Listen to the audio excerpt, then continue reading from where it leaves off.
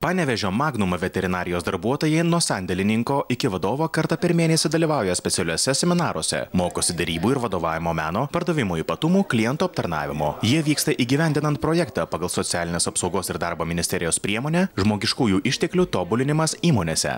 Savo išgalėm tikrai nebūtumėm to padarę dėl kelių prie, priežasčių. Tai viena iš jų yra finansai, kadangi vis tiek šitie mokymai yra pakankamai brangus. Ir tokio gero mokymų planavimo turbūt patys būtumėm nepasidarę.